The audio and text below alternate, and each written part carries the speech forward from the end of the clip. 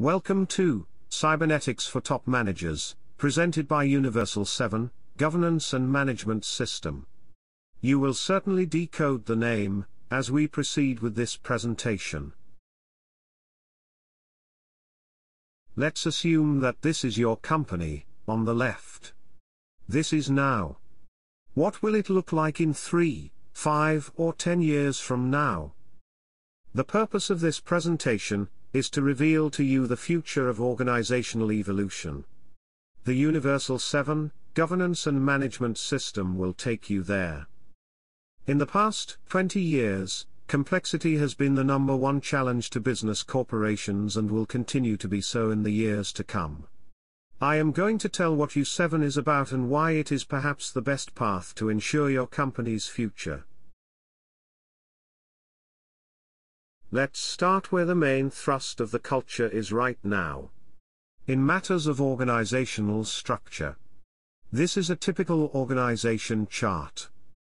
Thousands of other top managers are familiar with this hierarchical pyramid-like structure.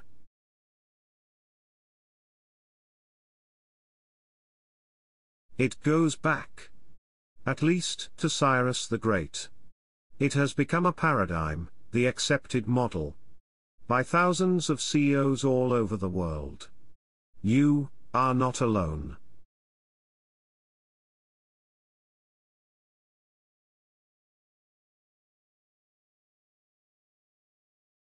Here are some notable examples.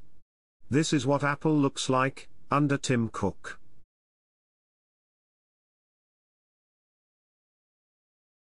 This is what Google looks like. Sometimes.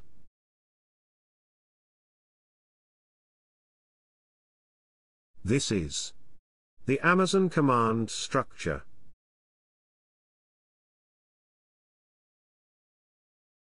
This is what Microsoft looks like, according to them. Different shapes, but still the same type of description. Here are four revolutions in business, and their approach. The first is the Industrial Revolution. Then came the Automation Revolution. I now introduce to you the Complicated Systems Revolution, that takes the management fads approach. You copy what works, until it doesn't. Now, we are entering the Complex System Revolution. As you shall see, complex and complicated are very different. Dave Snowden has created the Cynefin framework. He travels all over the world to explain the difference between simple, complicated and complex systems. Simple are visibly obvious systems, governed by cause and effect. For instance a hammer and nails. Complicated systems are for instance many business solutions, that are presented as systems, but are made of hundreds of rules, standards and formulas. This is the world of management fads, and consulting experts, that never say goodbye. Complexity is actually the world of living things. Applied to business, you are emulating the processes seen in nature. The key words are self-organization, learning, adaptation, sensing, reacting. Instead of huge plans, you create capabilities. Many new business solutions, such as Agile, Scrum, etc., are bridges between complicated systems, and complex, living, systems. Here are some of the victims of the complexity revolution. I bet they all had access to tons of traditional consulting. And still, they are gone. We shall return to complexity later. Here is another angle. Many years ago, a top management expert from Harvard suggested that the structure of very large corporations should look more like nation states and become resilient. To learn quickly and adapt. This was 17 years ago. Why would he say that? Hint the United States of America has endured over 240 years, and is the world's foremost superpower.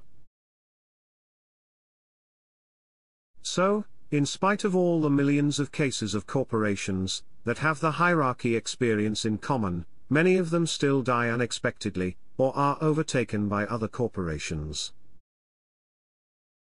What is it about the structure of the United States that has made it so resilient to changing circumstances?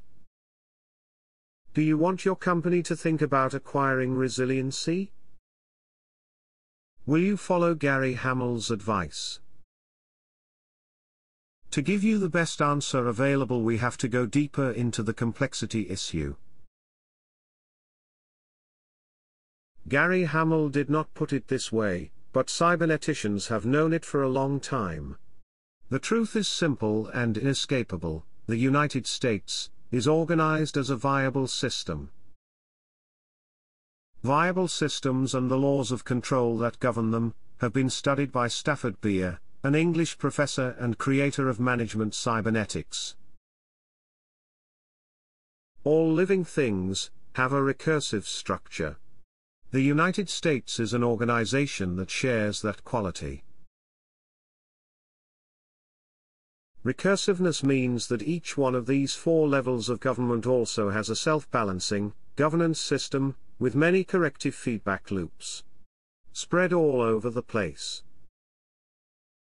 The ones shown in this graph are very famous, the so-called balance of powers.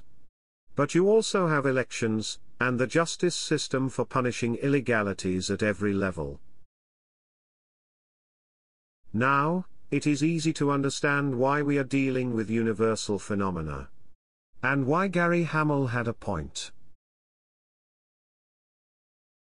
On the other hand, think about your corporation.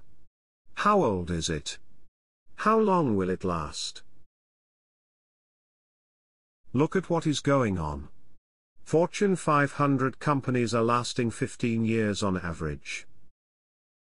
Smaller corporations usually last much less. We have to dive deeper into the complexity issue. I know I said I would talk about cybernetics. And I know cybernetics sounds mysterious, or foreign or technical or to some, even outdated. But, before you raise any one of those barriers, allow me to give you some really hard historical facts.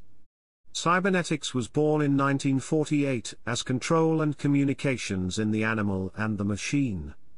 As in the title of Norbert Wiener's book. Wiener was a mathematical child prodigy that spent most of his life teaching at MIT. He is the founder of cybernetics. Now look around you. Cybernetics is everywhere. It shapes the world we live in right now, just as much. Or more, than physics and quantum physics. Computers, lasers, information satellites, iPhones, information theory, artificial intelligence, network theory and, complexity sciences. All these came from cybernetics. Cybernetics accomplished all this, when it connected purposeful machines and living things. Technical feedback information allows both to display purposeful, goal-getting activity.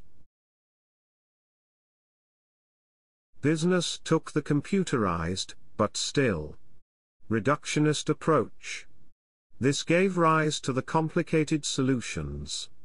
And the fact remains that all these methods and techniques have not prevented gigantic corporate failures.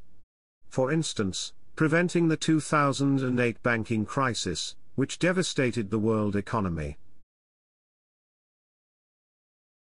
Management cybernetics took the organic route to business organization structure. In 1971 Stafford Beer, its creator, went to Chile to help organize a real-time economy for President Salvador Allende. That was almost 50 years ago. Stop, and contemplate the significance of this graph. This is how cybernetics got started, with the joint collaboration of many other sciences.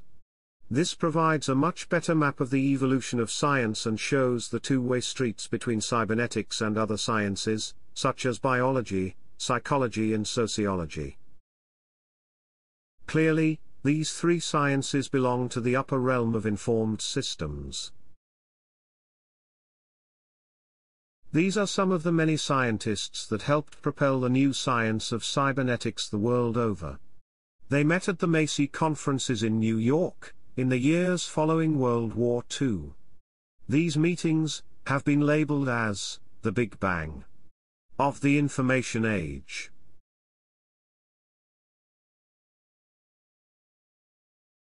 With cybernetics as the mother science, we can see two very different applications of the same science.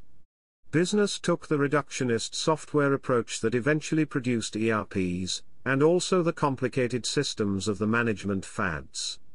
Today, however, to overcome the problems posed by complexity, there is no other way out but to embrace the more organic models, Universal 7 is a newer and perhaps simpler to grasp version of Stafford Beer's viable system model created in the 70s.